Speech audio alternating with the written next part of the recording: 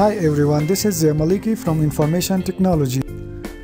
In today's tutorial, I'm going to show you how you can add a Microsoft account on Windows 10 operating system. After that, I'm going to show you how you can remove that Microsoft account from your operating system.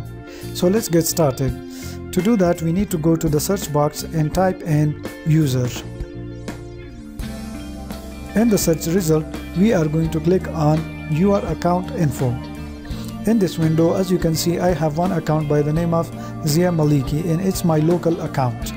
So to add a Microsoft account, we are going to click on this link where it says sign in with a Microsoft account instead. To sign in, in here you must have a Microsoft account in advance. But if you don't have one, you can create it in here where it says no account, create one. I already have one so I'm going to put in my Microsoft account in here and then I'm going to click on next. Now in here you must enter your password. So in here it says we will need your current Windows password one last time. So you must enter your Windows password in here. And then click on next. Okay, it's because my Windows doesn't have any password so I'm going to click on next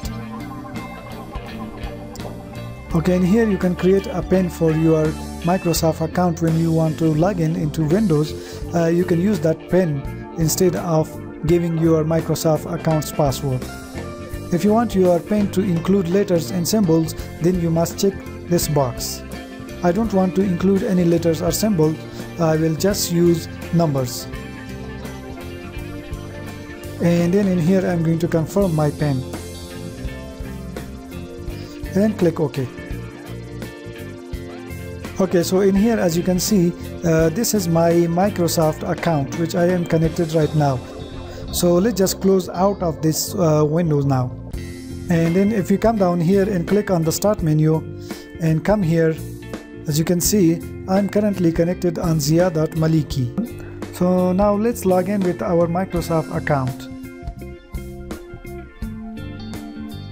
and uh, here it is asking us for the pin we are going to give it the pin uh, which we provided just before. We have just logged in with our Microsoft account. Now I'm going to show you how you can switch back to your local account.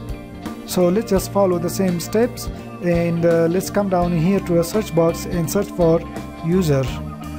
And from the search result we are going to click on your account info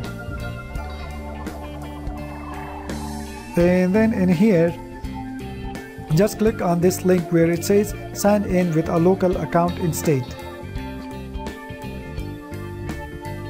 And let's just click on next. So in here they are going to ask us for the PIN. Enter your local account info. So we are just going to click on next. So that means when next time we log in, we must provide our local account information and password. So let's just click on sign out and finish. So i hope you have enjoyed the video and i will see you guys next time